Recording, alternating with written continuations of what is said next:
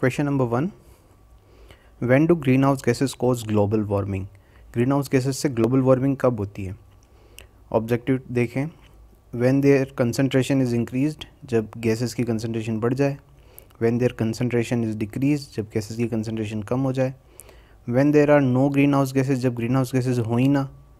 और when gas greenhouse gases release balance वे तो answer हो जाएगा इसका first when their concentration is increase next बात करते हैं second question how much percentage of energy is absorbed from the sun to earth यहाँ पे देखो, अगर तुमको ये चीज़ सीखनी है ना कि कितने परसेंट कहाँ पर एब्जॉर्ब होता है तो मैंने इसके लिए ग्रीन हाउस गैसेस का और ग्लोबल वार्मिंग का एक वीडियो बना रखा है, उसका लिंक मैंने लास्ट में आ जाएगा आपको वीडियो ख़त्म होने पर। उसको देख लीजिएगा, जिससे आपको पता पड़ जाएगा कितने परसेंट कौन एब्जॉर्ब करता है, कौन रिफ्लेक्ट करता है।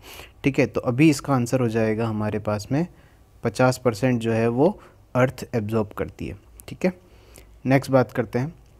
What is called the phenomena when the radiation absorbed by the atmosphere is reradiated towards the surface of the earth तो देखिए फेस ऑफ़ द अर्थ इसका आंसर हो जाएगा हमारे पास में ग्रीन हाउस इफ़ेक्ट कि भाई यही तो पढ़ रहे हैं हम लोग, कि भाई जब रेडिएशन एब्जॉर्ब होती है और उसके बाद में वापस से उसको रेडिएट कर दिया जाता है।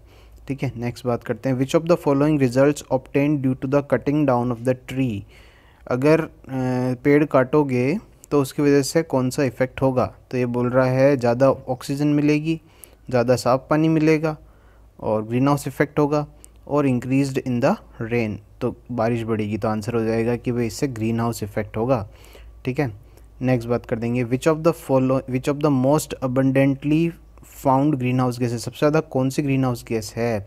तो आंसर हो जाएगा इसका वाटर वेपर सबसे ज़्यादा है। ठीक है? Which of the following is not a greenhouse gas greenhouse gas कौन कौन सबसे पहले तो ग्रीन हाउस गैसेस कौन कौन सी, पहले मैं बोल के बता देता हूँ।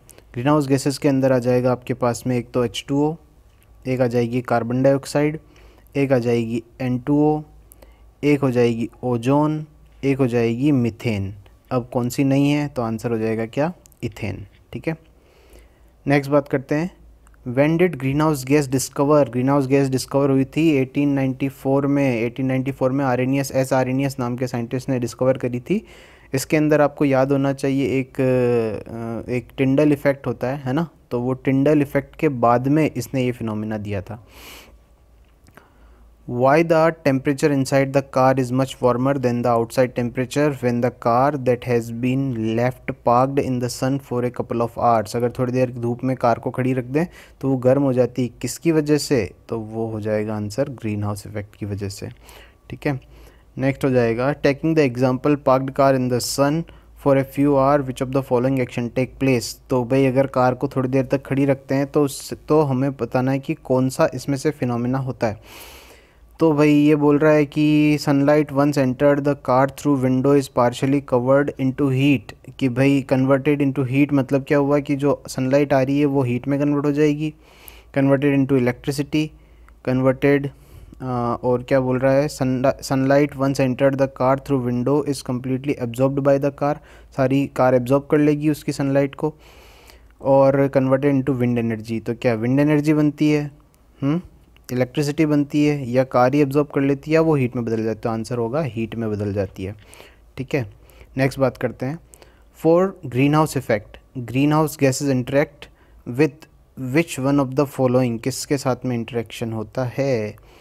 Greenhouse gases interact with the sun energy sun की एनर्जी के साथ इंटरेक्ट होती है. विंड एनर्जी से नहीं होती एटमोसफेरिक प्रेशर से कोई मतलब नहीं. है ना? पोल्यूशन इन द एटमोसफियर से कोई मतलब नहीं. आंसर हो जाएगा हमारे पास में सन एनर्जी सन एनर्जी के साथ इंटरेक्ट करती है. Greenhouse is made up of greenhouse किस से बना होता है? ग्लास से बना होता है और क्या? ग्रीन हाउस का ग्लास का बना हुआ होता है. इसको भी तुम लोग वीडियो में देख लेना. सब कुछ बता रखा है वीडियो के अंदर. Which of the following cause cause global warming global warming किससे होती है? ग्लोबल वार्मिंग ऑक्सीजन से नाइट्रोजन से हाइड्रोजन से कार्बन डाइऑक्साइड से। आंसर हो जाएगा कार्बन डाइऑक्साइड से होती है। नेक्स्ट देखें how much percentage of carbon dioxide increase in the atmosphere since pre industrial times pre industrial time से कितनी कार्बन डाइऑक्साइड बढ़ी है? तो आंसर हो जाएगा इसका तीस परसेंट बढ़ी है। ठीक है? नेक्स्ट बात करते हैं which is what is the full form of U N F C C U N F C C क्या है? United Nation framework convention on climate change ये तो ए आंसर है इसका, ठीक है? नेक्स्ट देखिए who measures the global warming rate अरे ग्लोबल वार्मिंग की रेट कौन एस्ट्रोलॉजर फिजिसिस्ट है ना? फिलोसोफर या क्लाइमेटोलॉजिस्ट नाम से पता पड़ रहा है क्लाइमेटोलॉजिस्ट करेगा उसका measure which one of the following result takes place due to global warming global warming से क्या प्रभाव पड़ेगा? मेंटेन स्टडी टेम्परेचर टेम्परेचर को स्टडी रखेगा change in the rail rainfall है ना? प्लीजेंट इन्वायरमेंट और कोज लेस पोल्यूशन तो रेनफॉल में चेंजेस देखने को मिलेंगे तो आंसर हो जाएगा हमारे पास में B which one of the following cause global warming global warming किसकी वजह से होता है? रेडिएटिव फोर्स की वजह से अर्थ के ग्रेविटेशनल फोर्स की वजह से ऑक्सीजन की वजह से या सेंटिपिटल फोर्स की वजह से? आंसर हो जाएगा रेडिएटिव फोर्सेस की वजह से। How human activity has influenced global warming global warming in human activity की वजह से किस तरह से इन्फ्लुएंस यानी बढ़ता है?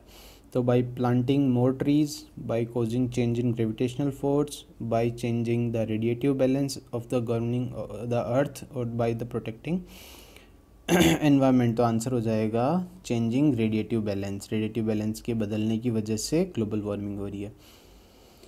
Which one of the following is the anthropogenic radiative forcing of climate तो इसका आंसर हो जाएगा एरोसोल क्योंकि एरोसोल जो होता है ना, उसी की वजह से होती है हमारे क्लाइमेट के अंदर चेंजेस सीमेंट पेपर ग्लासेस नहीं एरोसोल की वजह से आप एयर के अंदर जितना ज़्यादा गैसेस मिलाते जाओगे हार्मफुल गैसेस उतना ही ज़्यादा इसको फोर्स मिलेगा?